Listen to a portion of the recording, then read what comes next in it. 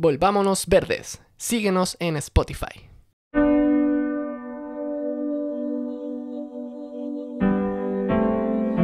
Solía pensar que los principales problemas ambientales eran la pérdida de biodiversidad, el colapso de los ecosistemas y el cambio climático.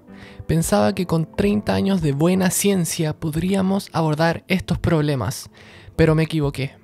Los principales problemas ambientales son el egoísmo, la codicia y la apatía.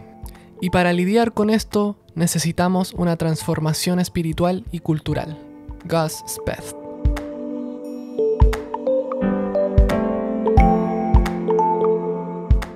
Hola a todos, estamos en una nueva entrega de nuestro lindo podcast Volvámonos Verdes. Como siempre, antes de partir, agradecemos a nuestros queridos colaboradores en Barra y Humo Recolector. Además te invitamos a apoyarnos en nuestra página de Patreon por solo un dólar mensual. A cambio recibirás acceso anticipado a nuevos episodios sin comerciales y acceso a videos exclusivos del podcast. Puedes unirte incluso con una cuenta root o con cualquier tarjeta de débito o crédito, es muy fácil. Pueden encontrar el link a nuestro Patreon en la descripción de este episodio. Tuvimos la suerte de conversar con el gran ecólogo y ambientalista Juan Pablo Orrego Silva, quien es músico ex bajista de la banda Los Plops y tiene un magíster en estudios del medio ambiente con mención en ecología y antropología. Es un defensor de los ríos, ha sido coordinador del Grupo de Acción por el Bio y de la campaña Patagonia sin represas. Por su trabajo ganó el premio Goldman para el medio ambiente y el premio Nobel Alternativo, también llamado Premio al Sustento Bien Ganado. Actualmente es presidente de la ONG Ecosistemas y director de International Rivers. Vamos con la conversación.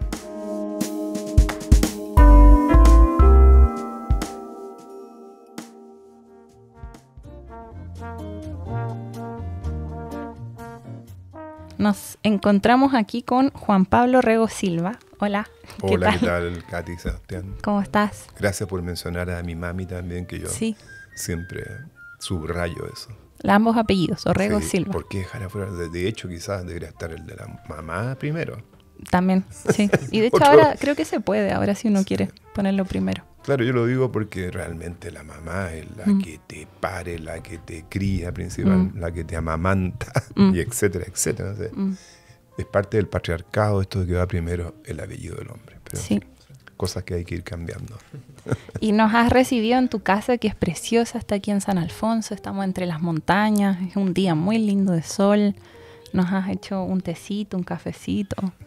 Estamos muy agradecidos. Encantado. Para tener una conversación agradable. Fabuloso.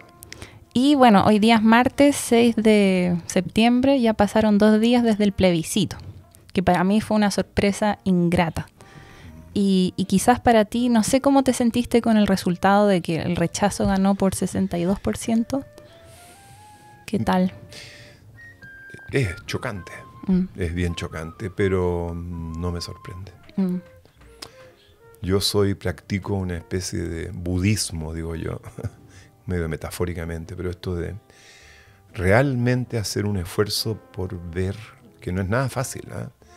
Pero ver la realidad, ¿te fijas? En vez de ver los propios deseos o las aspiraciones de uno, tratar de estar aterrizados viendo, por mucho que duela, porque duele. Mm. Contemplar la realidad de Chile hoy, socioecológicamente hablando, te fijas, la realidad del mundo, es doloroso.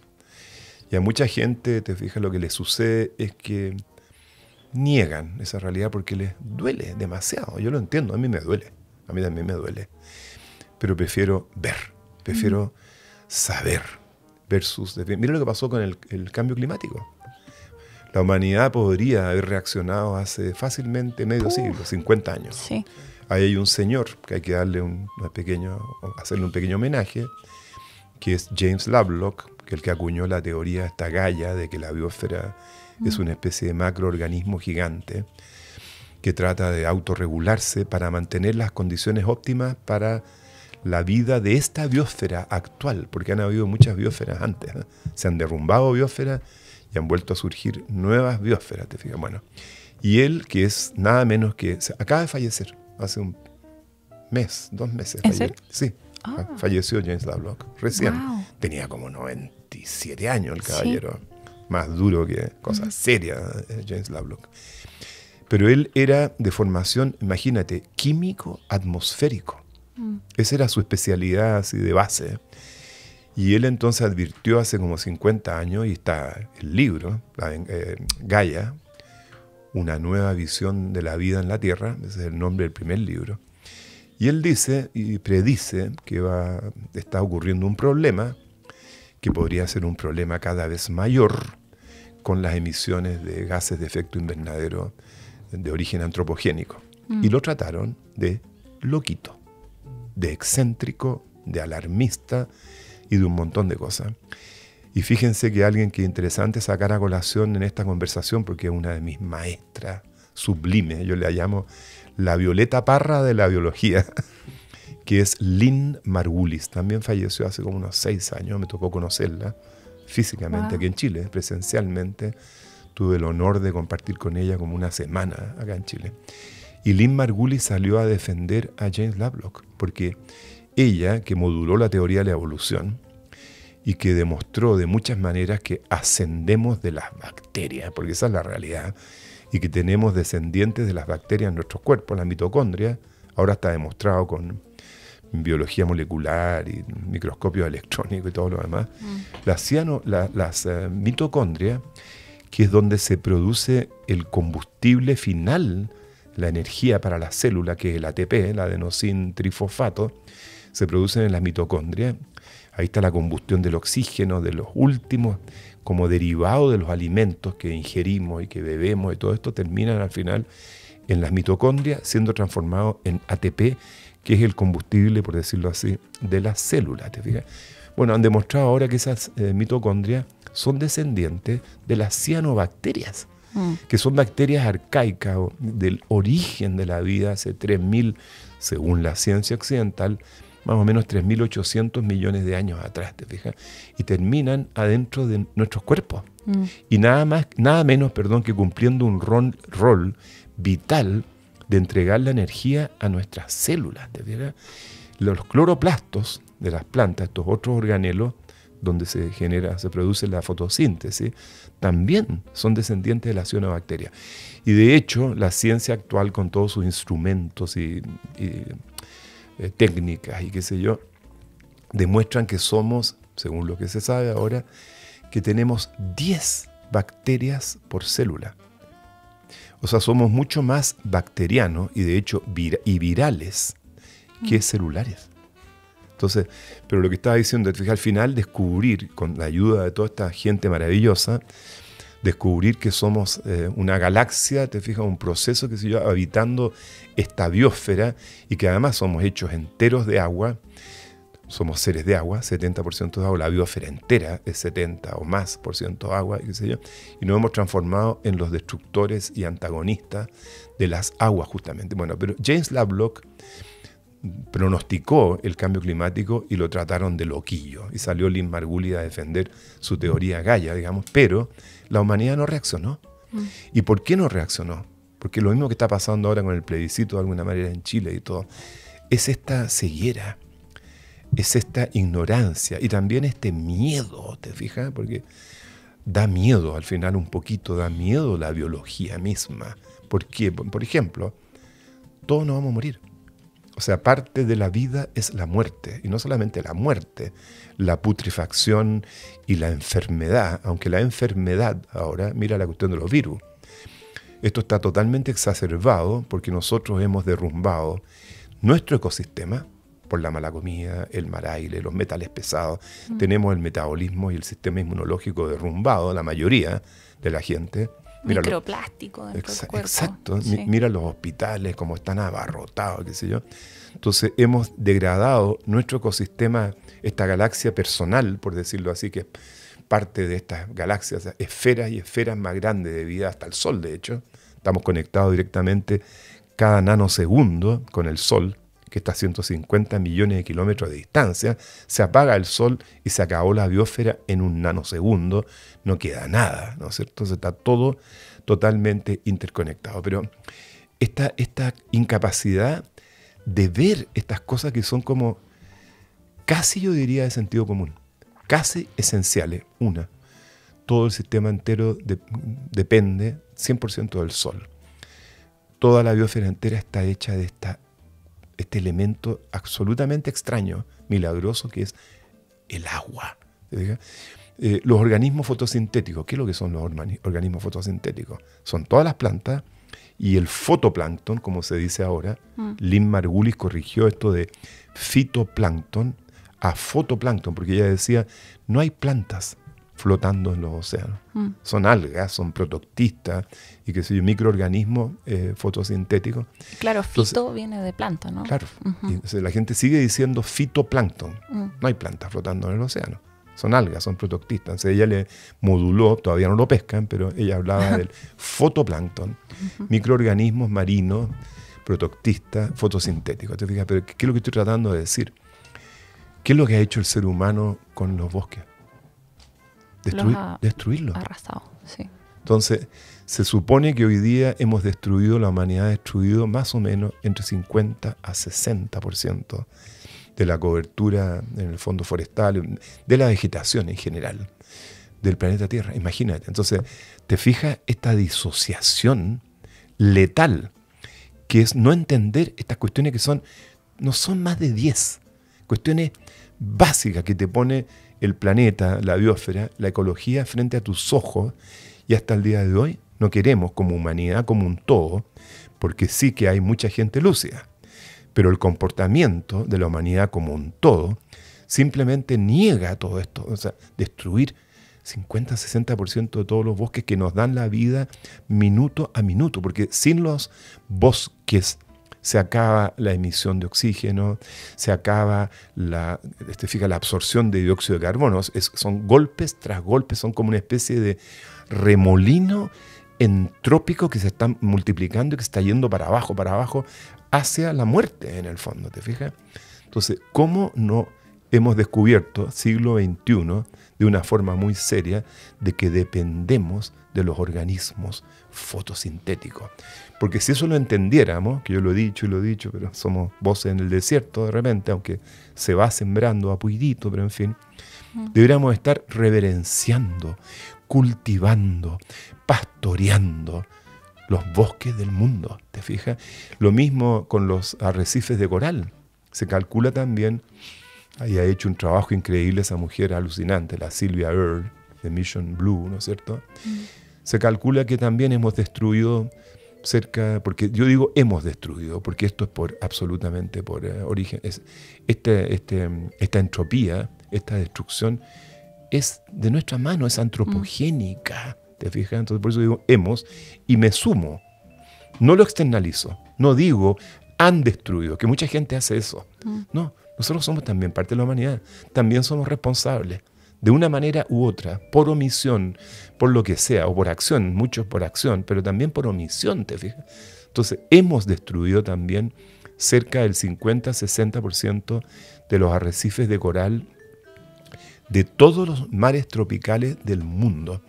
Y los arrecifes de coral son como, es que impresionante, fuentes de vida.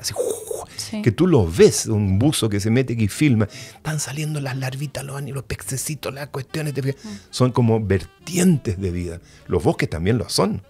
Un bosque nativo, prístino, es una especie de, o sea, es un ecosistema de biodiversidad infinita. Si tú consideras los microorganismos del suelo, perdón, los hongos, mm. los líquenes, los arbustos, las plantas, y después están los pájaros, están los insectos. Tú sacas un casco de la corteza, o sea, que, se cayó un casco de una corteza araucaria, y vas a, ver que, vas a ver que adentro de la corteza hay un microcosmos de larvitas, de bichitos, de insectitos. Cada árbol grande es un microcosmos. Fíjense, no es exagerado decir que un bosque nativo es un ecosistema de biodiversidad infinita. Y ese bosque nativo de biodiversidad infinita, en muchos casos, lo hemos, los hemos sustituido por monocultivos de lo que mm. sea. Pino, eucalipto, avellanos europeos, kiwi, cerezos, da lo mismo. Pero son. Y esos árboles no tienen la culpa de nada. El pino es una obra de la naturaleza, el pino radiata, que de hecho proviene de zonas áridas de California y el Eucalyptus globulus, por lo, menos, es de origen australiano, también de un ecosistema semiárido tirado para árido, y los traemos, pero los árboles son, son milagrosos. Y en, cierta medida, te fijas, han invadido el sur de Chile con esa eficacia, porque están acostumbrados a estos ecosistemas áridos, semiáridos, y los trae a Chile, corta el bosque nativo, que hay una materia orgánica maravillosa, porque son los bosques que crean la materia orgánica. Ah. No es que hayan bosques donde antes hubo materia orgánica, hay materia orgánica donde antes, donde antes hubieron bosques. Otra cosa que no hemos entendido claramente en el mundo y tampoco en este país, ¿te fijas? Entonces, esa ceguera, esa barrera epistemológica, perceptual, para mí es la clave de todo. Por eso yo hablaba como del budismo, te fijas, como que algo le pasa al ser humano. Tenemos un cerebro, yo diría, estamos mal hechos en un cierto sentido. Tenemos un cerebro demasiado complejo, que nos embolina. O sea, no le podemos echar la... que nos confunde. Mm. Mira, en el fondo no le, podamos, no le podemos echar la culpa al cerebro, porque han habido muchos pueblos en el pasado, incluso en el presente, que han sabido, todas estas cosas las han entendido muy bien muchos pueblos, y eso es súper importante para la juventud de saberlo. Los inuits, antiguamente, antes, todo esto antes de la expansión, la invasión del planeta por parte de los europeos, que invadieron el planeta entero, siglo XIV, XV, con una intención totalmente genocida, además. Es terrible, ¿eh? pero hay que verlo esto. Yo lo estuve diciendo recién en Suiza, cuando van a pedir perdón los países europeos y van a ofrecer reparaciones a todo el mundo entero, porque se echaron África, América entera, y con, una, con un espíritu, una brutalidad genocida, tratando de eliminar a los pueblos originarios que no se sometieran a ellos como esclavos o sirvientes, matarlos, simplemente matarlos. Hay una imagen, fíjate con esto, que es súper impresionante. Estados Unidos, llegan los ingleses, se se instalan ahí en la costa eh, este, ¿no es cierto? Y una vez que ya reciben suficientes armas y caballos, y etcétera, etcétera, empiezan una barrida. Es que con esta imagen uno entiende el colonialismo así y también entiende la resaca que estamos viviendo hoy, que es la resaca de, ese, de esos eventos, ¿te fijas? Y empiezan a hacer una barrida hacia el oeste. Y como digo, los indígenas, que eran muchos, muchos más, ahora se sabe que eran muchos más de lo que se, se supuso por mucho tiempo, los indígenas, pueblos originarios, que no se les sometieran a matarlos, simplemente a, tratar de exterminarlos, inventaron conceptos como este, técnicos legales, el concepto de terra nullius, es un invento inglés, que quería decir en el fondo, estos indios, miren, no saben usar la naturaleza, no saben explotarla, no se merecen la tierra, mm. así que saquémoslo hay que sacarlos a balazos, los sacamos a balazos. Pero mientras estaba pasando esa barrida de este a oeste, estaban trayendo los portugueses y los árabes población africana para reemplazar a los pueblos originarios de esclavos en las plantaciones. Esa imagen te muestra todo. Y ahí entiendes tú esta violencia que hay en el planeta hoy día, es la resaca del karma que generó la expansión brutal de los europeos en todo el planeta. ¿te fijas? Y los europeos, voy a conectar de nuevo con lo que estábamos hablando, ¿te fijas? Los europeos, hagamos el caso de Chile, ya que estamos acá, ¿te fijas? Acá nos llegaron los españoles sobre todo y los ingleses. Ojo, los ingleses pasan piola. Hmm. Los ingleses provocaron la guerra del Pacífico para tener control del salitre, porque tiene mucho nitrógeno, para hacer pólvora.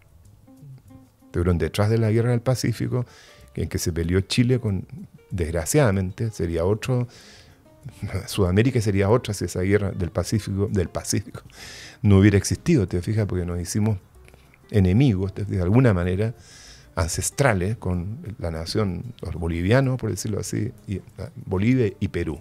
Son los ingleses, y también los ingleses se metieron en la Patagonia y mm. Tierra del Fuego, trajeron el negocio de la madera, fueron ellos, y el tema de las ovejas, para su industria textil en Inglaterra, para hacer tweed. ¿Te fijas? Y este, trataron de exterminar a todos los extraordinarios pueblos originarios australes. Sí, eso fue un genocidio, se dice. Genocidio. Se los mm. cazaban, contrataban mm. mercenarios para cazar a los indígenas porque empezaron, como se acabaron los guanacos y qué sé yo, empezaron a cazar ovejitas, te fijas, para alimentarse. Los yaganes, los aonikenk, los selknam, pueblos extraordinarios, mm. adaptados a, algunos de los ecosistemas más difíciles del planeta Tierra, desnudos.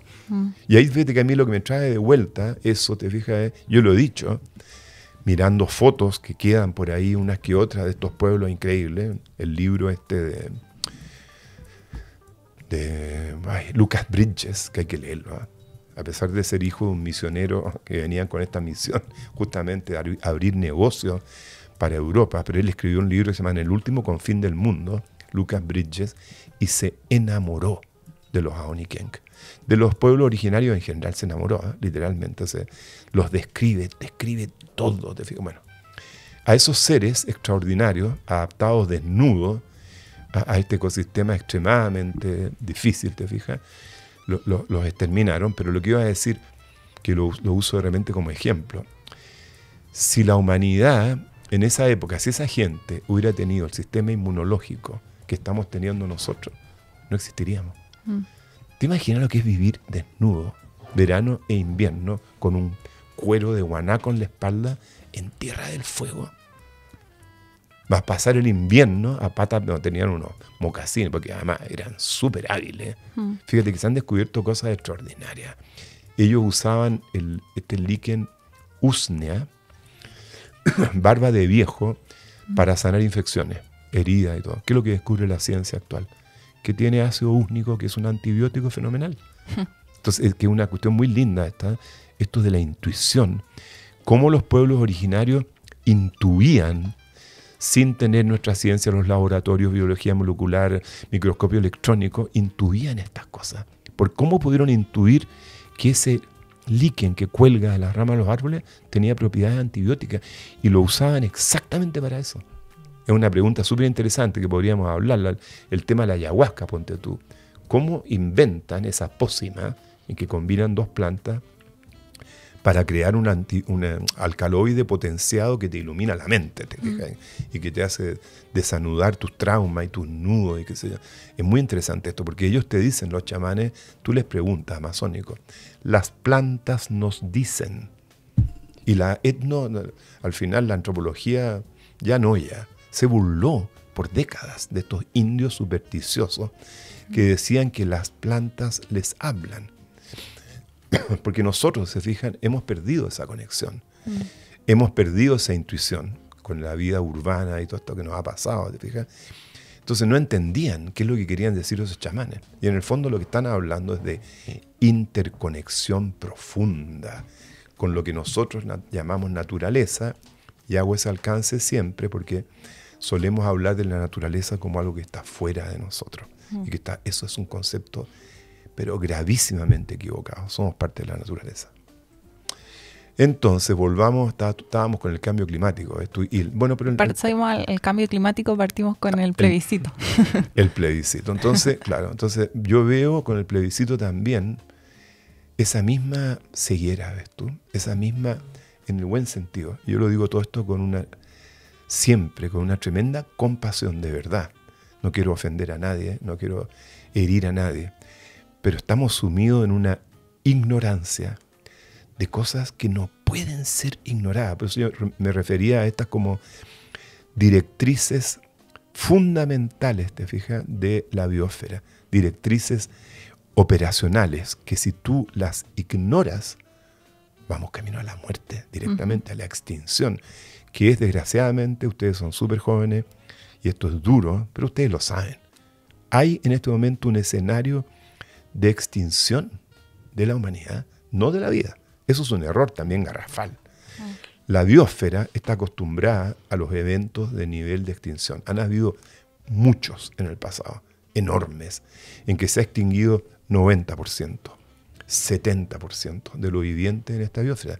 Y ha vuelto a resurgir otra biosfera gracias a las bacterias, las algas, los hongos, sobre todo las bacterias.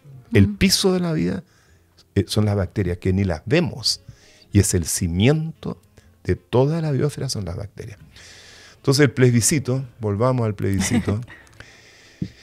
Mira, a mí me, no me sorprendió porque yo como digo que practico esta tratar de como estar más cerca de la, lo más cerca posible, porque la, ver la realidad última no podría yo decir para nada, ufanarme de eso, yo creo que es imposible al final.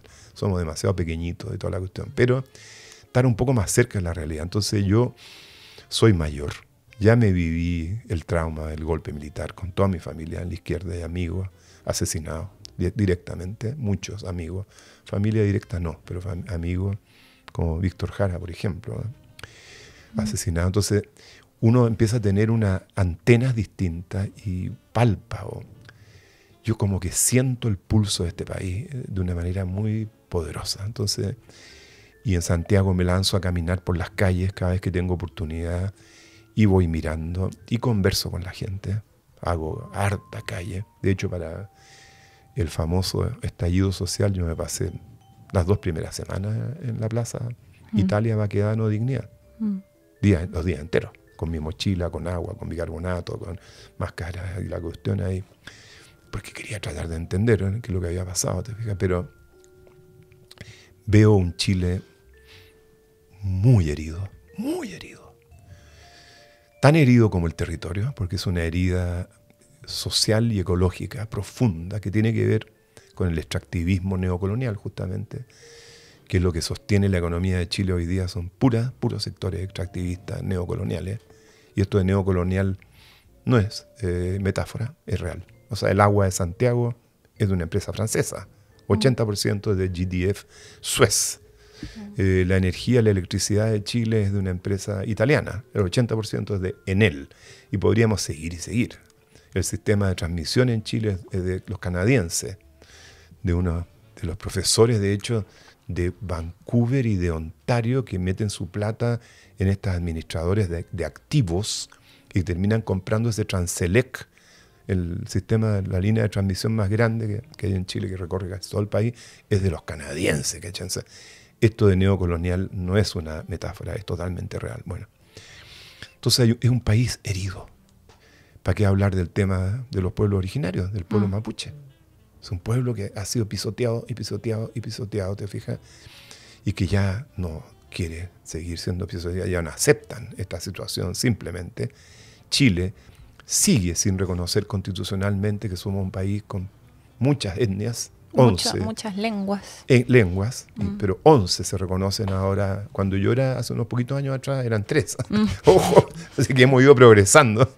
Y ahora reconocemos 11 etnias en el país, ¿te fijas? Etnias que todas han sido pisoteadas, sus culturas, físicamente, materialmente, ¿te fijas? Sus tradiciones y sus espacios, su territorio. O sea, el pueblo mapuche no solamente fue sometido y reducido por la República de Chile, no por los españoles, y por la República Argentina, juntos, redujeron a los mapuches en un barrido similar al que yo relataba a Estados Unidos, barrieron hacia el sur, te fijas, el ejército argentino, y el chileno al mismo tiempo, mm. que en Chile se llamó la Guerra de la Pacificación y en Argentina se llama la, se llama la Campaña del Desierto, todo mm. eufemismo, Guerra de la Pacificación. Mm. Es una guerra fratricida, genocida, bueno, y más encima, después de reducirlo y arrinconarlo al pueblo mapuche, les, los tapan a plantaciones de pino y eucalipto. Sí. ¿Dónde está la mayor parte de las plantaciones de pino y eucalipto de Chile? En Biobío, primero, están como el 60%, y después está el, la Araucanía como segunda región invadida por los pinos y eucaliptos, y la tercera es Maule. Y ahora está la invasión de la agroindustria, de, de los frutales, X, o sea, avellano europeo, cerezas, lo que sea, pero es una invasión de plantaciones cuyo daño, te fijas, social y ecológico es tan intenso como el daño que provocan las plantaciones de pino y eucalipto. Un poco menos los frutales porque están más espaciados, porque los riegan ahora por goteo y algunas cosas, pero al final, igual que lo que, lo que les mostré aquí al frente en mi casa en San Alfonso, sustituiste un ecosistema nativo de biodiversidad infinita por un monocultivo. De hecho, Andana Shiva, la filósofa hindú, mm. ella habla de, la monocultura de la mente. Mm. Porque hay que hacer, te fijas, esta extrapolación entre lo ecológico y lo social y viceversa todo el tiempo.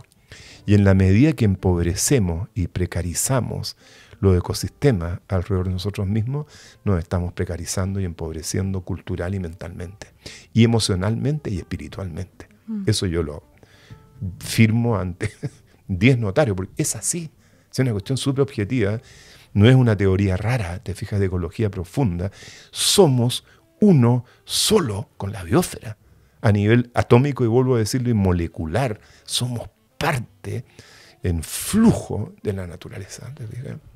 Bueno, entonces el plebiscito, yo como olfateo y siento el pulso de este país, y tengo mis eh, años, te fijas además, yo lo vi venir. Porque en este país hay un problema con la educación pavoroso. Hay un problema con la televisión y los celulares pavoroso. Que la gente, yo veo a la gente mayor la gente joven en los metros, yo circulo en metro cuando estoy en Santiago, metro, metro, metro, y tú ves a la gente enajenada con audífonos y celulares, con los ojos, la, cabeza agacha. Eso yo digo una cuestión súper loca, fíjate, yo soy muy admirador de los chamanes y de todo el, fenómeno chamánico, de que, que al final es pura conexión con la naturaleza. El chamán lo que busca es la mayor interconexión posible con todo lo que nos rodea. Y tú al final, ese chico, esa chica, ese señor, esa señora, los, chicos usan más audífonos. Los mayores en general no los veo con audífonos. Los veo pegados al celular, pero no tanto con audífono. El joven es audífono y celular. Entonces, es lo contrario. Es, te estás yendo para adentro, para adentro, a una soledad impresionante adentro de este, este, de este, saco de piel, como decía, no somos un ego atrapado en un saco de piel, eso es una falacia, pero quiero decir, ¿y por qué ese muchacho, esa muchacha está haciendo eso, sentado en el suelo del metro con sus audífonos? Se están tapando porque afuera está muy feo. Porque afuera está todo basureado, está todo chorreado, está todo grafiteado. A mí me gusta mucho graffiti. Pero hay mucho graffiti muy feo. Depende del graffiti. Exacto. Hay mucho graffiti muy agresivo, mm. muy soez, mucha pornografía, esto, mucho sexo en los escritos del estallido social. Mm. Era como para taparle los ojos a los niños. Mm. Violento, asesino, pero además pornográfico, una violencia pornográfica, ¿te fijas? Entonces, el, el, muchacho no quiere ver, no quiere oler, no quiere olfatear. Además, el aire está asqueroso, depende del día pero suele estar asqueroso. Entonces, te está pasando lo contrario del chamán. Te estás desconectando. Y aquí fíjate, yo acuñé, y que me encantado de lanzarlo aquí de nuevo, un concepto que es de la ecopatía. Que al final, fíjate, porque ustedes saben lo que es la sociopatía, según las teorías psicológicas y psiquiátricas modernas. El sociópata, que a veces los sociópatas terminan siendo asesinos y asesinos seriales, un fenómeno que surge de las urbes no hace mucho, años 50, que sorprendió a toda la policía y todo que aparecieron estos seres que mataban aparentemente sin motivo. Porque antes se mataba por pasión, por, codicia, por plata, por sexo, qué sé yo. Y aparecen estas personas que matan a mucha gente sin motivo aparente. Y descubren que son gente profundamente traumatizada que se desconectaron del prójimo. Esa es la definición de un sociópata que está muy bien mostrado en esta serie Dexter. Ah, sí, el Seba la veo. Ahí lo explican fantástico. Este cabro que vio matar a la mamá, como la cortaron con motosierra y lo dejaron tirado dentro de un container con el cadáver de la mamá hecho pedazo y toda la sangre de la mamá. De hecho, los dos hermanos terminan de asesinos seriales, los dos hermanos. Mm. Bueno, y ahí entendí este, este fenómeno de la sociopatía. Y los sociópatas solo sienten algo cuando hacen cosas muy violentas, muy fuertes. Por un instante se sienten vivos, porque el resto del tiempo es como que no estuvieran vivos. De hecho, generalmente son muy inteligentes. Entonces aprenden a comportarse, mm. pero totalmente sin empatía. Entonces no entienden las reglas del juego de la convivencia, la imitan. Entonces, hola, ¿cómo está? ah, hay que poner una sonrisa en el labio porque eso es lo que espera la otra persona. Empiezan a imitar el comportamiento normal porque ellos no lo sienten, no lo entienden, no lo pueden practicar. Pero entonces, ya, eso es la sociopatía. Pero yo, fíjate, he llegado a la conclusión de que primero el caldo de cultivo para la sociopatía es la ecopatía ¿Qué es lo que es la ecopatía? Y esto es un fenómeno 100% mental, nada más. Porque tú no te puedes desconectar materialmente del ecosistema. No puedes.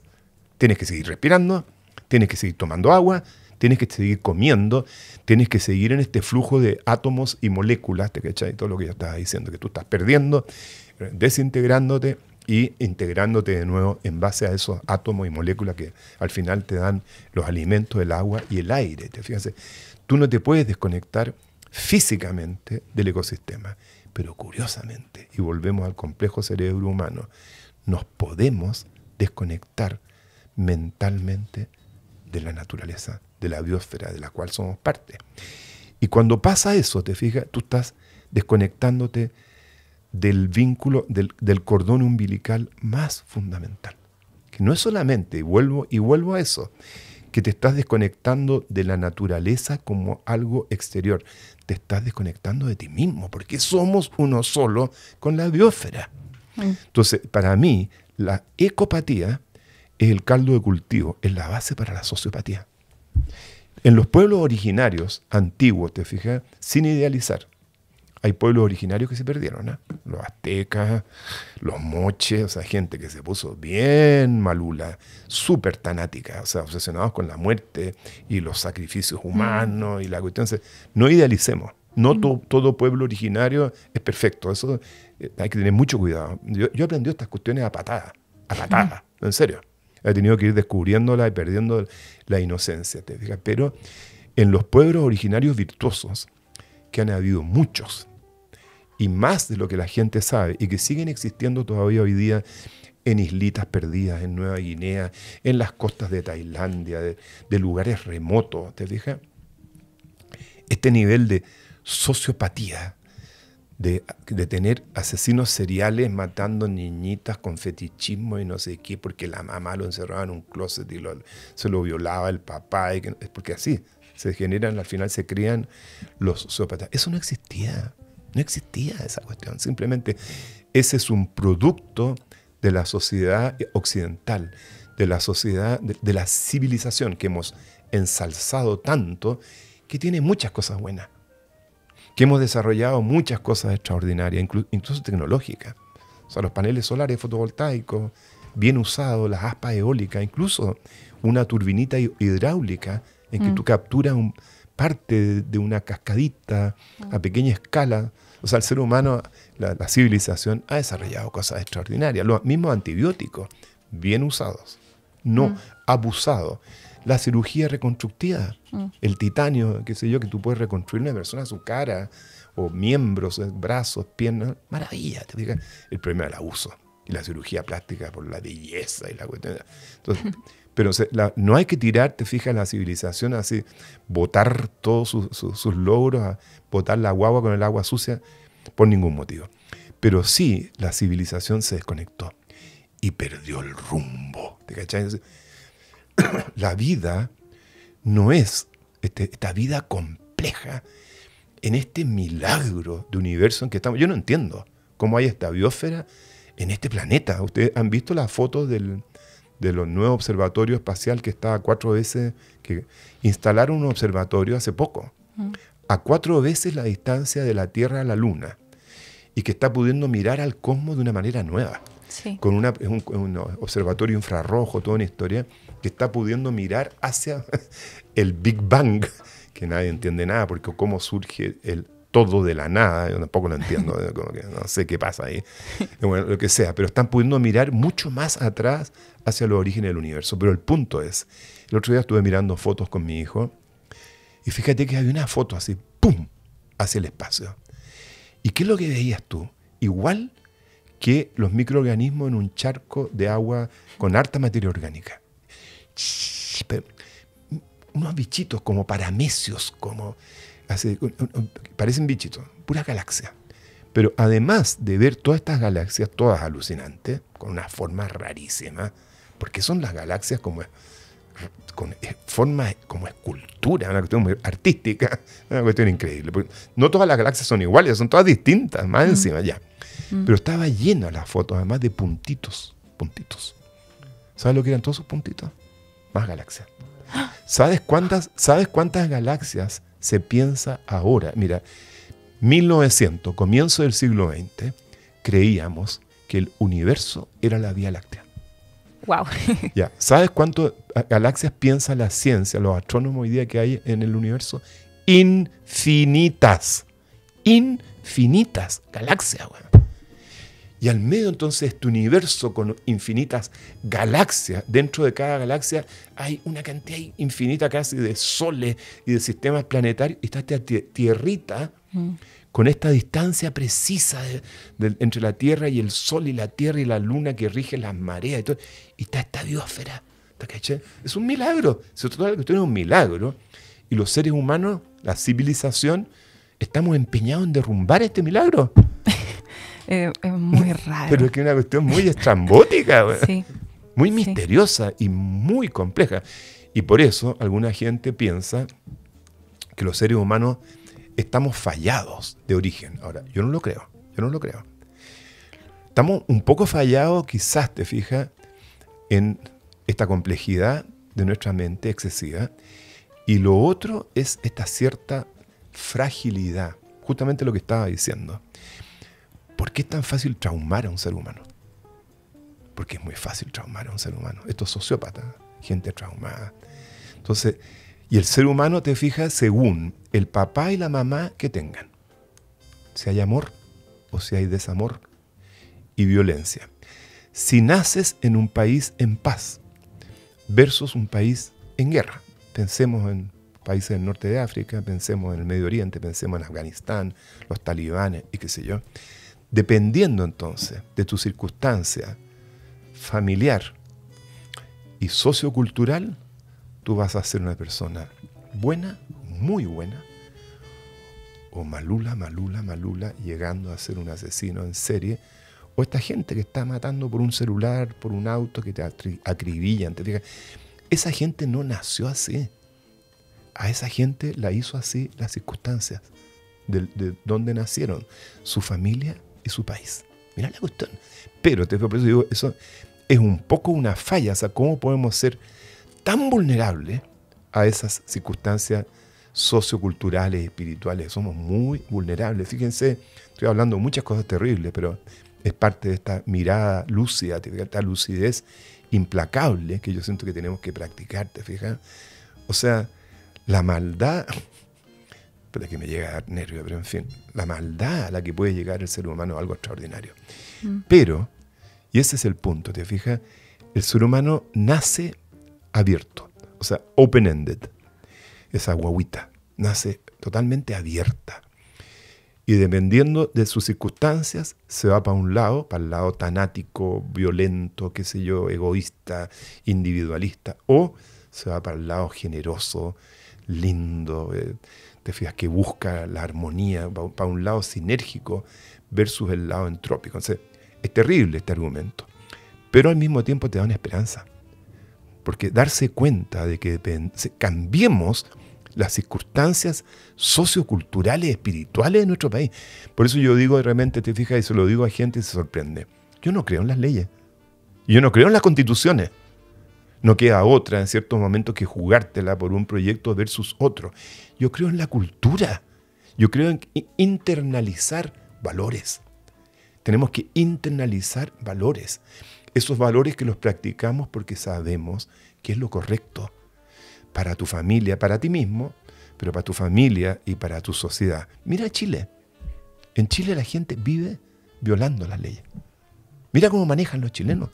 ¿Por qué tienen que morir 12, 15 personas por fin de semana largo? ¿Me querés explicar? Mm. Y esas muertes son causadas por alcoholismo, drogadicción, lo que sea, pero sobre todo irresponsabilidad en el manejo. ¿Por qué andas a 160 kilómetros por hora en las calles de la ciudad y la carretera? ¿Por qué haces eso? Entonces, está ahí. No más de 100, de 100, que además es una 120 en la carretera, es una velocidad que tú te chocas, vas a quedar hecho puré. Es una velocidad súper alta, la gente no se da cuenta, está allá adentro el autito ahí, parece que no pasara nada. Tú chocas a esa velocidad, te vas a hacer pedazos. Bueno, pero te fijas, ¿por qué la gente, en Europa, la gente sí cumple esas cosas? Porque lo tienen metido adentro. Y en pueblos, lo que yo decía antes, originario, tú podías tener cuatro, cinco reglas. Punto, punto. no haces esto, no haces esto otro.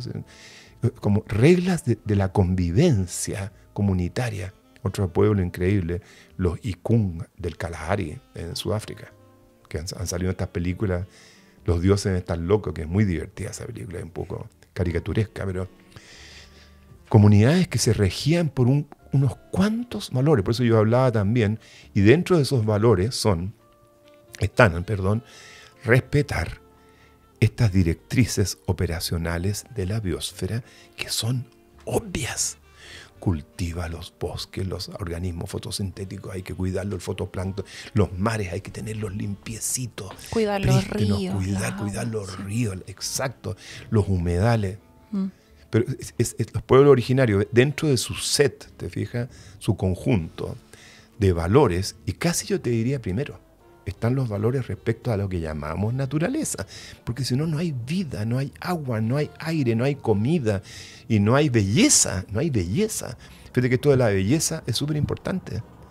El ser humano necesita, lo que hablábamos del chico en el metro con los audífonos y la cuestión, el ser humano necesita, no es un lujo de la gente rica, no sé cómo decirlo, el ser humano necesita belleza, impresiones bellas para poder tener una mente y un corazón equilibrado. Necesita el verde, el canto de los pajaritos, las flores. Es, una necesidad, mm. como el agua y el aire, la belleza y la armonía de un ecosistema alrededor tuyo. Mm. ¿Me quieres decir algo o preguntar algo? No, es que estaba pensando en todo eso. todo eso está conectado de alguna forma con que nos hemos desconectado de nuestro entorno, como decía. Alienado, se puede decir. Sí.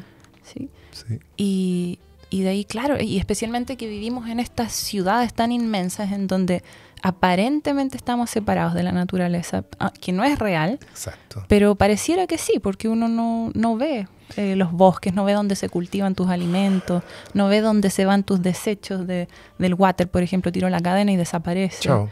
Chao, desapareció. Se fue la caquita solita. Y me con, agua, con agua potable.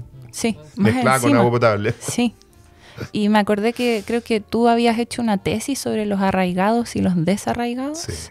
Que se refería a quienes pueblos que están conectados con su entorno y los que se han desconectado. Tal cual, Katy, tal mm. cual. Yo escribí mi tesis de magíster, que me costó mucho trabajo, porque me metí en un berenjenal, me metí en un lío en realidad. y me metí en un lío súper epistemológico. Yo soy muy admirador de Gregory Bateson, fue otro de mis le hago referencia, gran maestro de biblioteca. Me hubiera encantado conocerlo, pero no.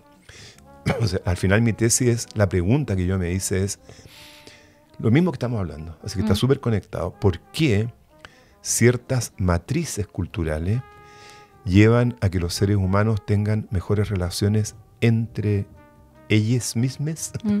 ellos mismos, ellas mismas, y entre ellos y ellas y lo que tú, ojo con esa palabra, eso sí, entorno. ¿ah? Mm. Estos, estos términos son súper malos, son súper eh, equívocos, porque volvemos como al concepto de que la naturaleza es lo que está alrededor nuestro.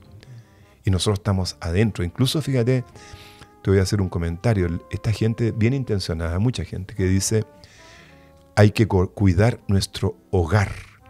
¿Y qué es lo que pasa? Aquí estamos adentro de esta casa y el hogar, te fijas, si, vamos a la teoría esta que es así, del flujo atómico molecular, mm, la casa también es parte de ese flujo y todo, qué sé yo. Pero la metáfora del hogar no es tan acertada porque el hogar igual es algo que está, ahí sí que sí, te fijas, afuera de uno. Mm. E, esta casa que está realmente es tu entorno, está fuera de ti, te fijas.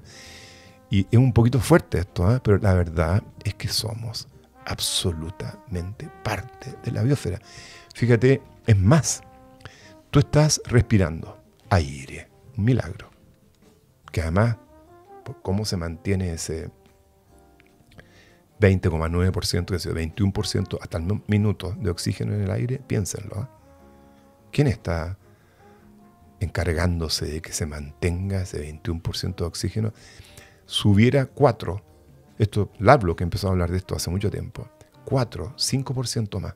El oxígeno se empezaría a quemar todo, incluyendo lo mojado. Mm. Así que No es nada de trivial de que el aire tenga 21% de oxígeno y nuestros organismos están muy precisamente, matemáticamente, adaptados a inhalar ese aire que tiene además mucho nitrógeno, poquitito así de dióxido de carbono y argón y otros gasecitos, sobre todo nitrógeno de hecho, pero que tiene entonces este milagro de este oxígeno que es, el, de nuevo, que tiene que ver con el metabolismo y la combustión del alimento en las mitocondrias y todo esto que hablábamos antes. ¿ya? Pero el punto es, respiramos este aire, le sacamos como 5 por 5 6% del oxígeno, que lo tiramos para dentro del metabolismo, y botamos, respiramos un aire con 0,04, ahora estamos para 45, hay como 450 partes por millón, desgraciadamente, de dióxido de carbono en el aire, y devolvemos como con un 4%, o sea, de una fracción de, muy chiquitita de dióxido de carbono, que es un producto de desecho, por decirlo así, de nuestro metabolismo. Pero ¿qué es lo que quiero decir? ¿Qué significa esto? Que estamos metidos adentro del ciclo gaseoso de la biosfera. Estamos contribuyendo a modular el oxígeno, el dióxido de carbono. No estamos pasivos ante el ciclo gaseoso de la atmósfera, estamos metidos adentro ya. Después, tomamos agua todo el tiempo, ¿ya? Es muy necesario, los 2,5 litros más o menos promedio, ya. Hacemos pipí. Y con el pipí botamos un montón de metabolitos, botamos, de hecho, la urea de la proteína animal o vegetal que hayamos ingerido, la estamos botando con el pipí. De hecho, James Lovelock mismo decía que es muy interesante de que botemos la urea con, con agua, porque el mm. agua es tan importante, imagínate en el desierto que eso se pone cada vez más serio, que para poder botar la urea, que es un desecho del metabolismo de las proteínas, tú tienes que botarlo con agua. Estás gastando agua para ese proceso. James Lovelock hizo todo el cálculo y dijo sería más eficiente que botáramos el nitrógeno con, como un gas con la respiración. ¿Por qué, sin embargo, lo botamos con la orina? Es una cuestión cibernética, para ir a mear allá afuera y devolverle el nitrógeno a la naturaleza. Yo hice esta explicación en un colegio, en un San Esteban, diácono de Chicureo, lo que sea, y le encantó la, charla y todo. La directora se me acercó al final y me dice, yo Juan Pablo, súper buena tu charla y todo. Pero si mis chicos me empiezan a mear en el patio, te mato. claro, porque... Bueno, lo que quiero decir tan claro. Te fijas, el agüita entra transparente, en el mejor de los casos, y sale nuestra orina amarillita. Mm. Entonces, ¿qué quiero decir? De nuevo, estamos totalmente involucrados en el intercambio, en el ciclo hidrológico, de manera microscópica, pero estamos dentro del ciclo hidrológico, movemos también nosotros, nosotros el ciclo hidrológico. Y después está, perdona, las fecas. Comemos sólidos y botamos unos sólidos degradados, le sacamos todo lo que podemos a ese sólido y botamos este excremento, esta feca que se podrían hacer muchas cosas más inteligentes que ir a un water, sentarse además en este trono que invita a las almorranas y la hemorroides, porque la forma natural de defecar al final es en cuclilla, mm. porque ahí mismo la misma postura aprieta los intestinos y todo es mucho más fácil hacerlo en cuclilla como muchos pueblos, en India, en los Andes, también hay baños que tú entras y hay un, dos huellas como de pie y tú te encuclillas y haces ahí tú, y es mucho, mucho mejor para la salud, etc. Mm. Bueno, entonces nos sentamos en un trono, en todo caso, muy mala idea, ¿eh? ángulo recto, que obliga a pujar desde el recto y toda la cuestión, y botamos después esa caca, como hablábamos, con agua potable que se va, en el mejor de los casos, una alcantarilla, que va a parar a un río y que va a parar a la mar, ¿cachai? Mm. Cuando tú de esa caquita podrías hacer fertilizante, como lo hacen los Ladakh en, en los Himalayas, podrías hacer letrina seca, podrías hacer biogás, podrías hacer muchas cosas mucho más inteligentes que tirarla con agua potable a todo el sistema hidrológico de la Tierra, ¿te fijas ya? Pero el punto que estoy tratando de hacer, ¿te fijas? Es que estamos metidos en el ciclo gaseoso de la atmósfera, involucrados en el ciclo eh, hidrológico y en el ciclo de la materia. Mm. Somos parte de todo ese ciclo. Y de hecho, vuelvo a esa metáfora al final de que somos una galaxia, literalmente es así. Piénsenlo y me dicen ustedes si no es verdad. Somos una galaxia de átomos y moléculas que yo no entiendo por lo demás cómo es tan milagrosa la vida que esa galaxia puede permanecer 40, 50, 60, dependiendo de la de 90 años, esa galaxia íntegra. Es algo mm. asombroso. Y ahí está metido el ADN, el plan maestro, manteniendo, y gracias al agua, al aire, todo lo que hemos hablado, manteniendo la integridad. Y esa integridad es muy fácil derrumbarla. Desde un cuchillo que se te mete en el corazón. Un virus. O una, un virus, perfecto. O un eh, teruca, un eh, escorpión mm. de México que anduve cerca muchos meses, estuve metido ocho meses con los indígenas huicholes en la Sierra Madre Occidental de México por cosas de la vida, y habían unos escorpiones, unos alacranes negros, chiquititos, así, absolutamente mortales. Fíjate que la colita es microscópica, entonces lo que te inyectan son fracciones de miligramo de este veneno te derrumba tu plan maestro y te mueres en media hora. Y entonces, y si no estuviéramos el fetichismo de los cementerios y de los nichos, te fijas, de cemento, tú te envuelven en una sábana y te ponen en un hoyito y tu materia, los huesos se van a demorar harto más, tu materia vuelve a la danza de la vida, que sería el ideal. En vez de meternos en ataúdes mm. sellados con ataúd interno de zinc y que te meten pues, es, que, no queremos volver a la tierra, le tenemos pánico a la tierra. Que te coman los gusanos y los microorganismos, mm. es lo mejor que puede suceder, mm. es lo natural. Te Ahora, volvemos a la ciudad, eso sí, Katia Katy, porque ¿qué pasa? problema de escala. Los cementerios de una ciudad como Santiago son gigantescos. Entonces entras a problema con las napas freáticas, o sí se empieza a generar un problema de sanitario, claro, sanitario, higiénico, sanitario, ¿te fijas? Pero el problema son las ciudades. Y de hecho, pero eh, te fijas al final, yo le digo a los cabros, los chiquillos y las chiquillas, porque creo que ese golpe epistemológico es clave darse cuenta que somos esta galaxia de átomos y moléculas, este proceso que es fácil de derrumbar por lo demás y de alterar muchas cosas, ¿te fijas? Dentro de esferas y esferas más grandes y más grandes de organización, por decirlo así, llegando hasta este sol a 150 kilómetros, millones de kilómetros de distancia, ¿te fijas? Como tratar de descubrir lo que realmente somos Versus, te fijas, esto que decía Alan Watts, este filósofo de los años 60, 70, alucinante Alan Watts, que decía, no somos un ego atrapado adentro de un saco de piel, ¿te fijas? Es muy buena esa reflexión de este loco. Y muy, imagínate, años 60, este, este gallo ya tuvo la lucidez de ver eso. Ah. Somos seres porosos, abiertos, entran cosas. A ti te tapan la piel con pintura, el cuerpo entonces te mueres, ¿no? Porque es parte, la piel es parte del sistema de respiración de los pulmones, de alguna manera. entonces, somos seres porosos, somos procesos alucinantes dentro de, un proceso que llega hasta la biosfera entera.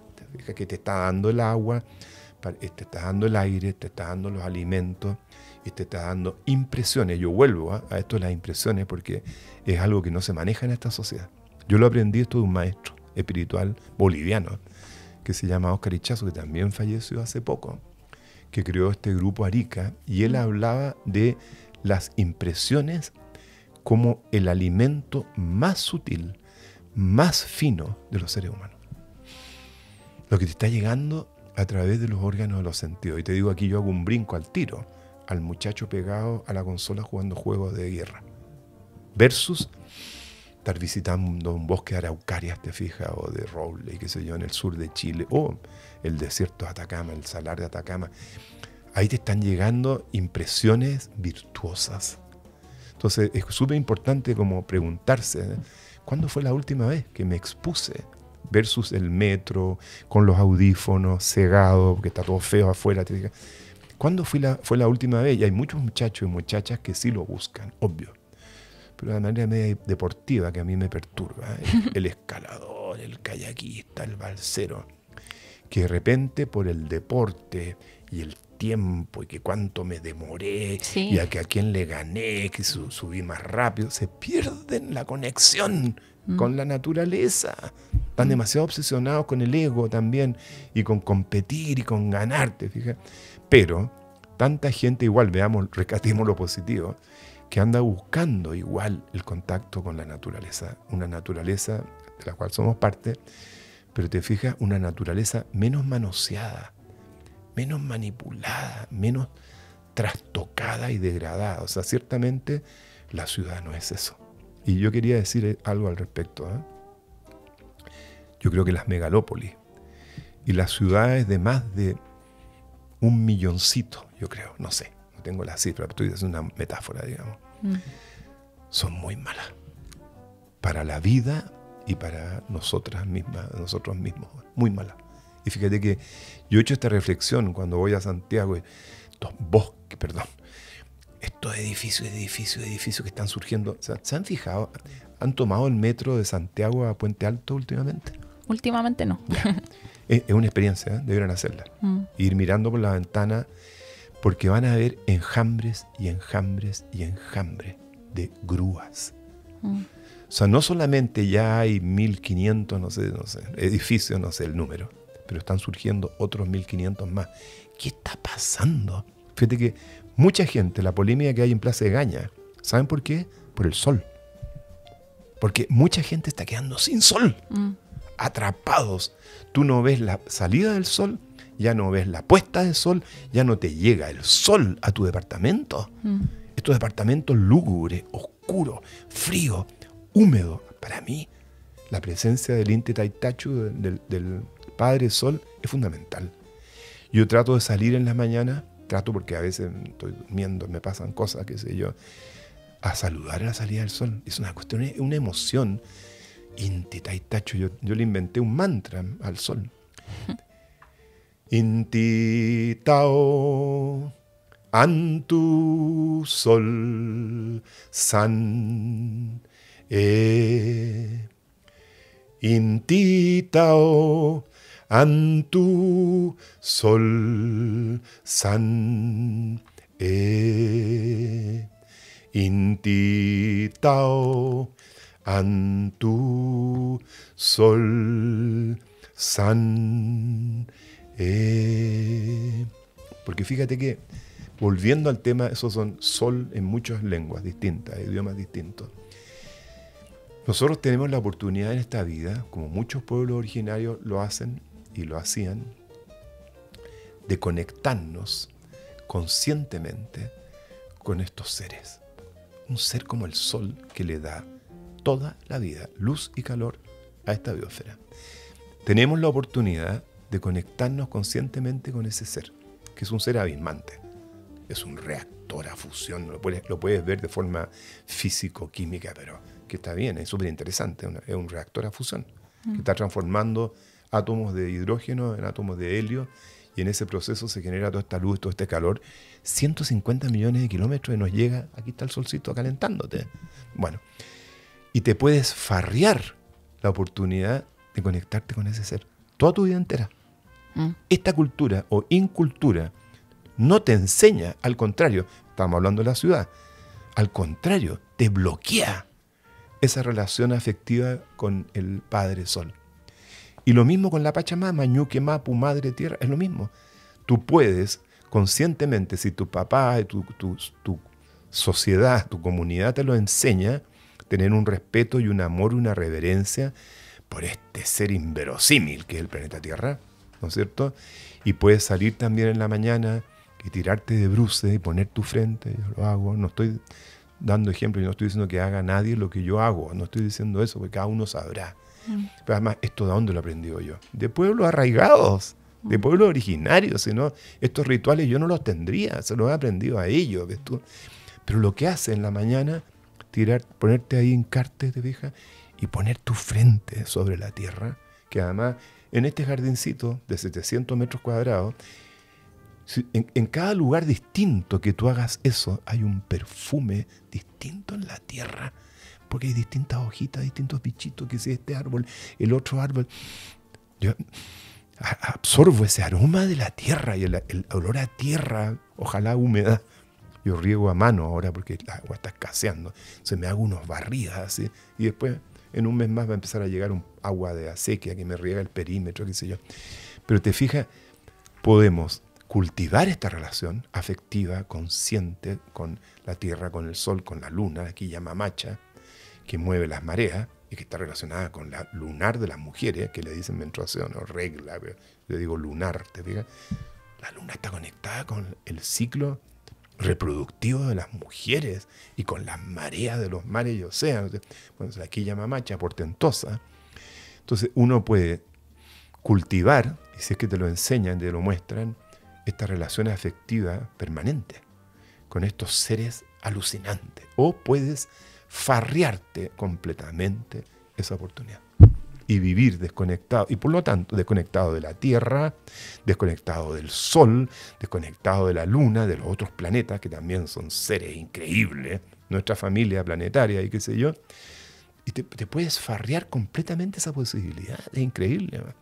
Los pueblos originarios, te digo, los pueblos andinos, que yo les hago aquí una reverencia, yo no sería ecólogo si no hubiera sido por experiencia que he tenido con pueblos originarios particularmente los pueblos andinos, de Bolivia, de Perú, de Chile también, pero pues en mm. Chile hemos sido muy brutales con nuestro pueblo originario. O sea, en Bolivia, te fijas, y en Perú, sobre todo Bolivia, ¿por qué la cultura andina está tan vital, tan viva y tan vital?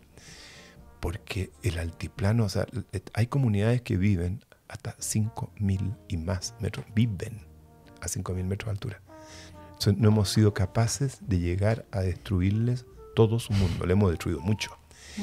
Pero hay un reducto al final que late como un corazón, que son las alturas de los Andes, el altiplano, ¿te fijas?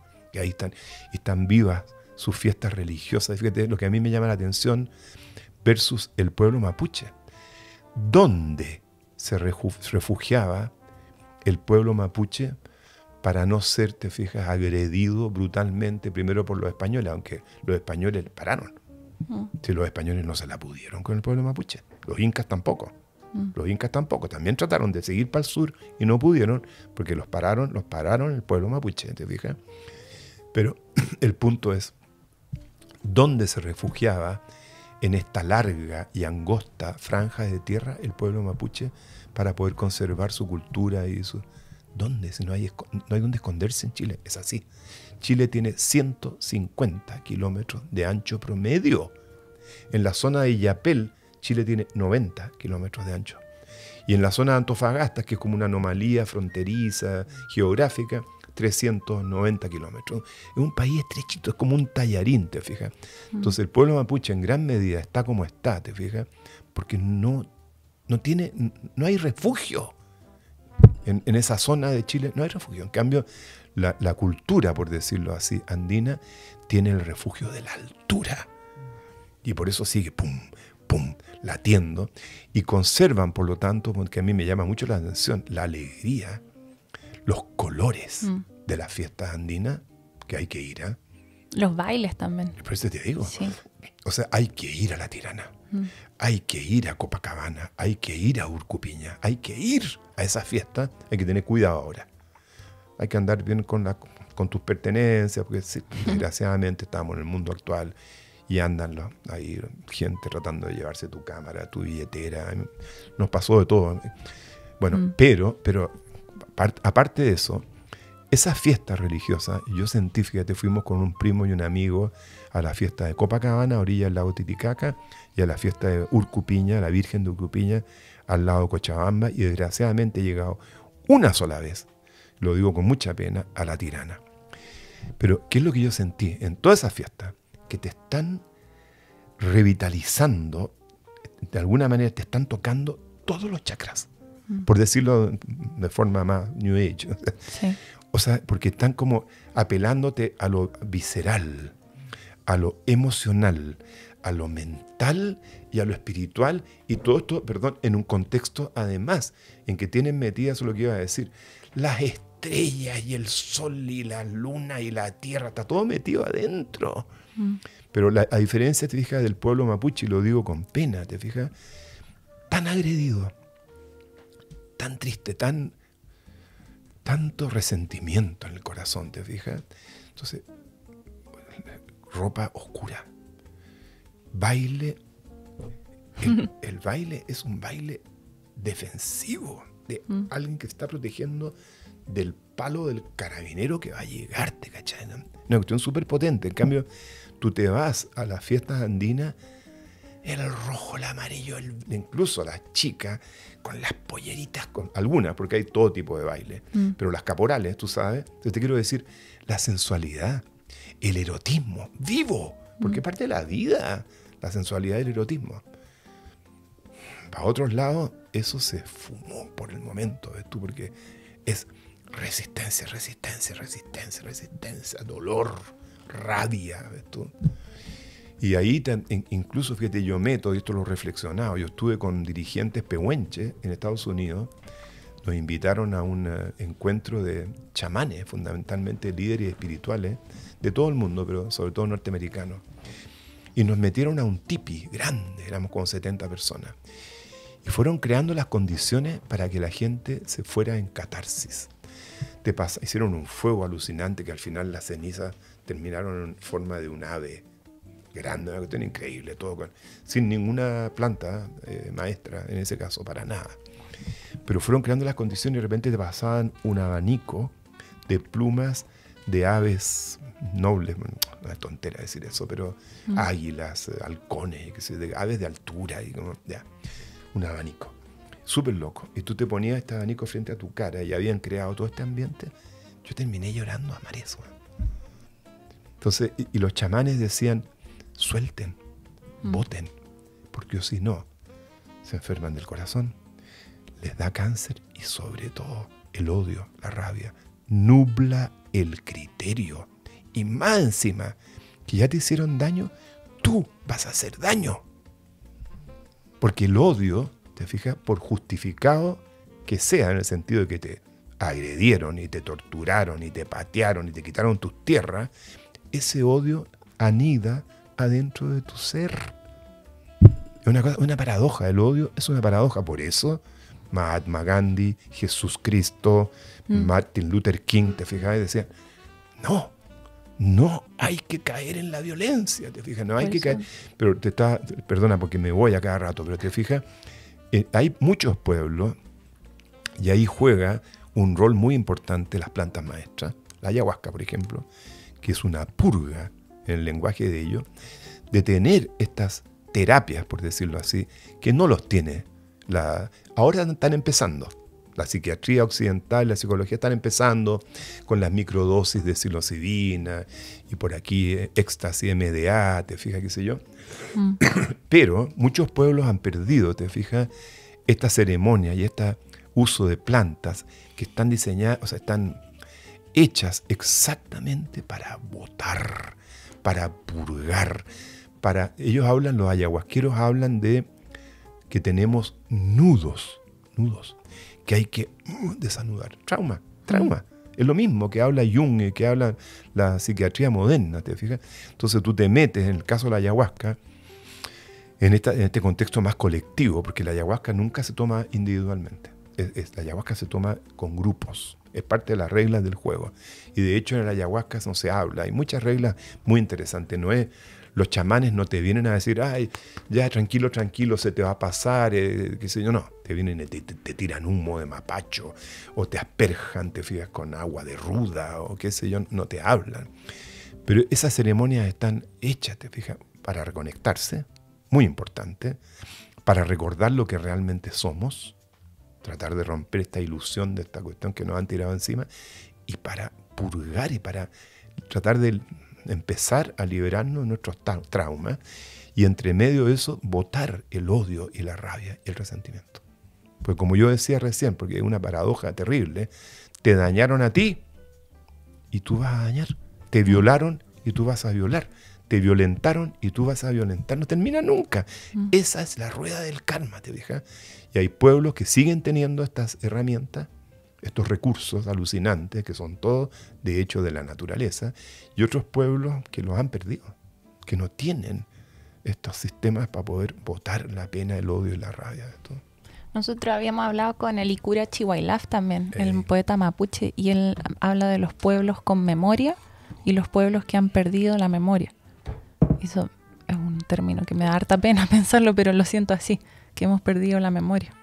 O sea, tú estás haciendo eco ahí, el pueblo que no conoce su historia tiende a repetirla, lastimosamente. Es lo mismo, es, exactamente ese mi discurso, te juro. Así mm. como la, la cosa más importante para mí es esta cuestión como de despertar, que Chile se decía, 28, 18 eh, de octubre de 2019, Chile despertó. No tanto. no tanto. Porque fue, además, perdóname, fue una orgía de violencia el, despertar, te fijas, desgraciadamente. Te digo, y, eso también, ves tú, perdón, aquí yo me voy a meter en un lío, pero me voy a meter en un lío, pero así es la vida nomás, pues, estoy acostumbrado. Esta idealización que se hizo de la primera línea y toda la cuestión, te fijas, yo estuve parado con mi señora y uno de mis hijos el 18 de octubre, llegué de hecho el 17, que ya había empezado el baile y el metro, ardía y toda la cuestión nos costó mucho llegar al, departamento, mucho, a través de las barricadas y todo. Pero el 18 de octubre a las 10 de la mañana yo estaba parado en la Plaza de la Dignidad. Y te digo, les puedo decir a ustedes, ¿qué es lo que yo humildemente vi? Una masa entrópica, destructiva, ejerciendo una violencia que yo no me la podía. Vimos como casi quemaron a un chofer dentro de una micro del Transantiago, te fijas, casi lo quemaron. Fuerte. Ardía toda Vicuña Maquena, ardía toda la Plaza de la Dignidad entera, ardía todas las primeras cuadras de la Alameda, ardía todo, ardía todo. Y los carabineros no habían dado un paso todavía. Otra cosa es la mm. respuesta psicópata que, mm. tuvieron después la policía, porque la policía por este momento, y siento decirlo, es una fuerza armada con problemas psicológicos graves por historia y por las cosas que les ha tocado hacer. Pero miren el golpe militar, entonces. Pero y ahí te fijas, además, ¿es conveniente picanear a un ente medio psicótico, picanearlo en la guata? Mm. ¿Es inteligente? Pero lo que te quiero decir, esa violencia, yo tengo clarito de qué lado surgió, ¿ves tú? Otra cosa es la respuesta, vuelvo a decirlo, monstruosa. Y los gases lagrimógenos, y la, otra cosa es la respuesta. Pero no me vengan a decir, y yo me pasé por los siguientes dos semanas, ya les acabo de decir, yendo todos los días, porque yo quería tratar de entender qué es lo que era esto. esto. Mm. Vi muchas cosas y aprendí muchas cosas. Pero vi además una organización sorprendente. Encargados de cosechar elementos inflamables. Encargados y encargadas de mantener las hogueras encargados de fabricar proyectiles de todo lo que hubiera alrededor, incluso quebrando los bordes de la vereda a pedazos más chicos con barras de fierro. O sea, súper preparados, ¿cachai? Entonces, encargados con mucha habilidad de tirar los proyectiles, etcétera, etcétera, etcétera. Entonces, te fijas, esto, tratar de mirar la realidad, por mucho que tengamos nuestras rabias, yo la tengo, nuestras penas, te fijas, tratar de mirar la realidad que es súper difícil, pero de la manera más ecuánime posible, para no transformarnos de nuevo nosotros también en parte del problema al actuar, te fijas, con sesgos, con, con errores básicos, fundamentales, te fijas, muy profundos en nuestra percepción y quiénes son los malos, malos y quiénes son los buenos, buenos, y todas estas polarizaciones que está metido Chile de cabeza y en realidad el mundo entero. Pero mira cómo está Chile bandos de los malos y los buenos, el blanco y el negro, un poco algo que cayó la, convención, creo yo, siento yo, cayeron bastante en eso, desgraciadamente. Yo encuentro un error estratégico grave, haber marginado ah, de esa manera, ustedes cachan dónde están mis simpatías, ¿ya? pero de haber marginado así a la derecha y a la ultraderecha. Estratégicamente es un error. Claro, porque hay eso que generó. Exacto, mm. porque eso genera otra rabia, mm. otra reacción, otro revanchismo, mm. otra, de nuevo, te seguimos en el fondo en lo mismo. Ahora, lidiar con la señora Marinovich, qué sé yo, chuta, hay que tener el... Harta sabiduría. mucha, mucha, sabiduría y el pellejo muy duro, te fijas, pero, pero lo que hicieron fue simplemente poner un muro de Berlín eh, entre el resto de los convencionales y ellos, ¿te fijas? Entonces, de nuevo, el cisma, ¿te fijas? Y alguno de ellos tendría alguna idea buena, o que pero sobre todo una cuestión como simbólica, además que trasciende las palabras y las ideas. Hay que dejar de hacer eso por el bien de todos y de todas, digamos, porque lo que tenemos que hacer es reconectarnos.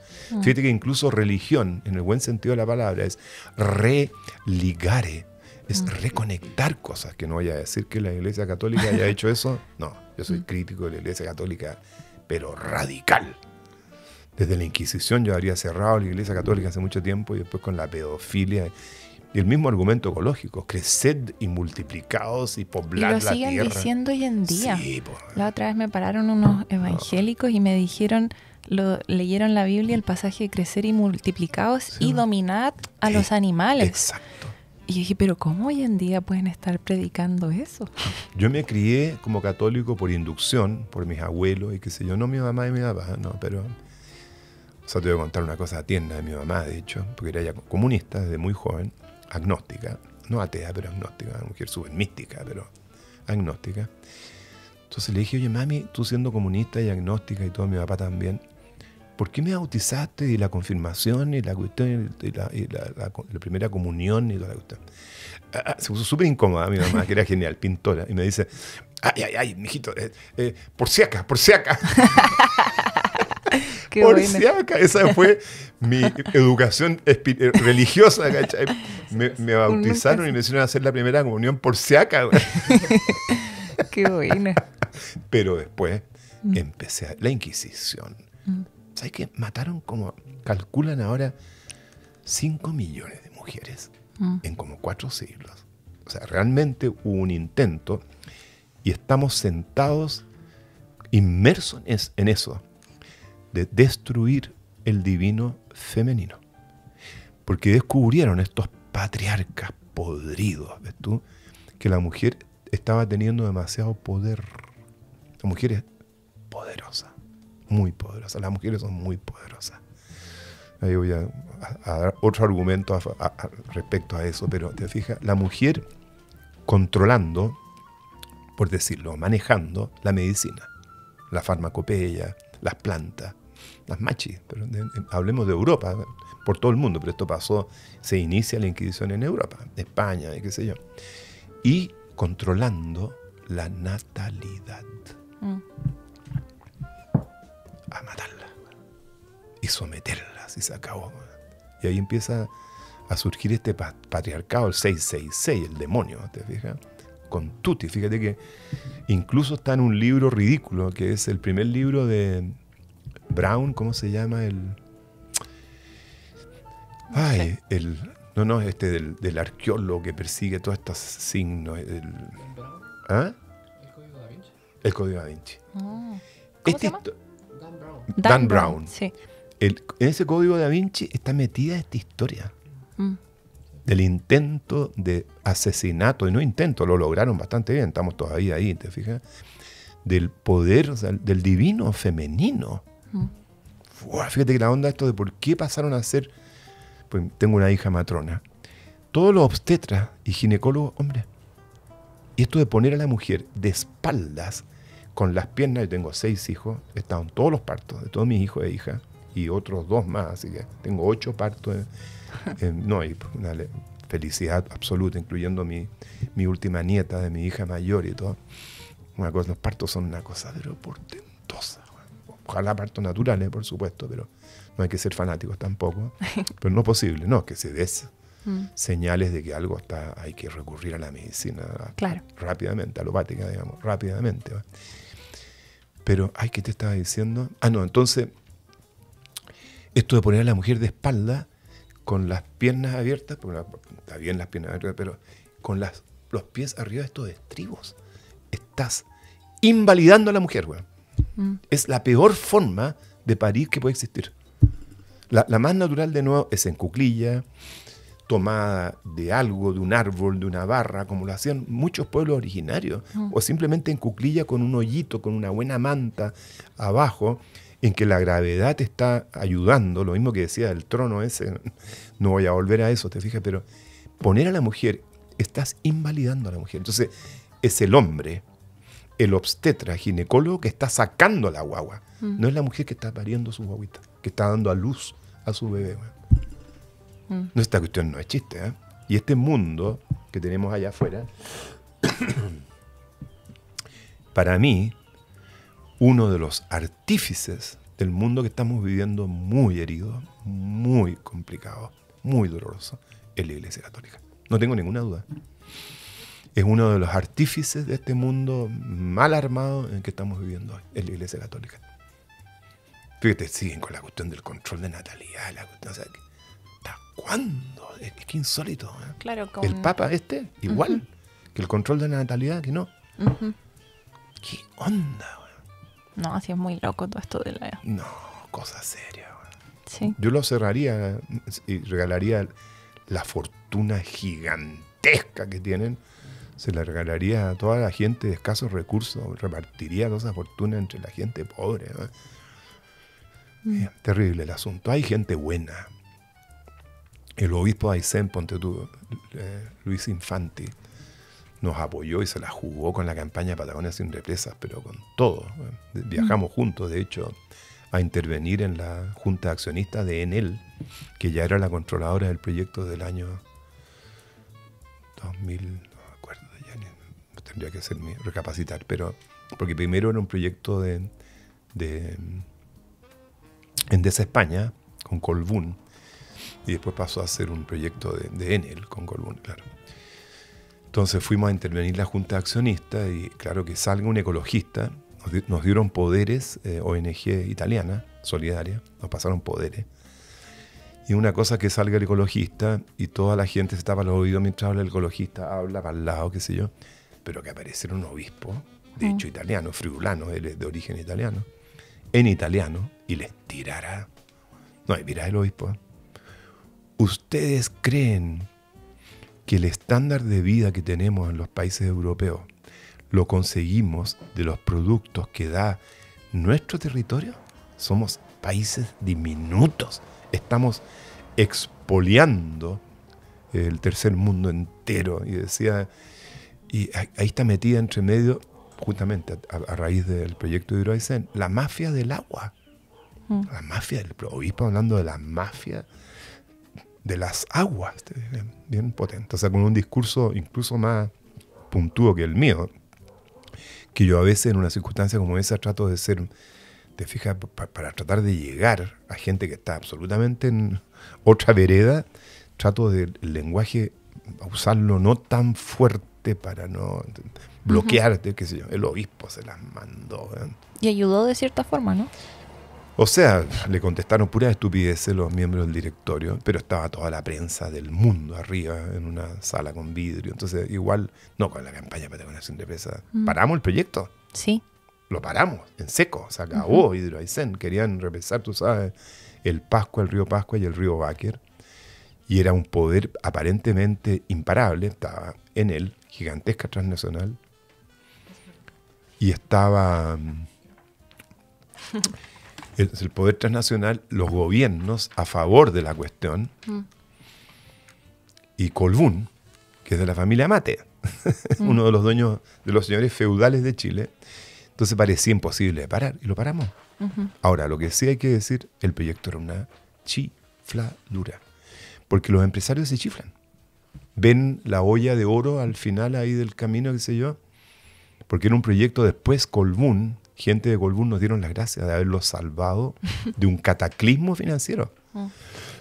Porque recordemos que además incluía una línea de transmisión de 2.000 kilómetros de largo desde la región de Aysén hasta Santiago, porque querían, aquí iba a estar la planta reconversora, cerca de, del túnel Loprado, por ahí, querían instalar la planta reconversora porque querían transmitir la electricidad en electricidad alterna. Mm. Era un mega, mega, mega proyecto. Me recuerda un poco ahora cuando se quería hacer la carretera hídrica. Que yo también cuando escuché el proyecto, sí, dije, pero esto, ¿a quién se le ocurrió esto? No, te creas que no la tienen ahí guardadita. Sí, sí, y no es solo esa, hay más de una, a través del mar. No, hay, una, un, hay un acueducto submarino que quería hacer una empresa francesa. Mm. Sí, y, y, el otro es una carretera hídrica partiendo a Chile por la mitad desde aquí hasta la tercera mm. región. Sí. Sacándole agua que no tienen a todos los ríos entre medio. Mm. Es que los conceptos son, ¿te fijas? ¿Te mm. fijas? Y eso es hoy, siglo XXI. Eso nos dice, chuática, no hemos entendido nada. Agradecemos nuevamente a nuestros colaboradores que son Humo Recolector. Son inciensos que huelen muy rico y están hechos en base al canelo, el árbol sagrado de los mapuches, en base a residuos de la industria en un proceso conocido como supra-reciclaje. Y también en barra, que son champús, cosméticos, acondicionadores, jabones en barra.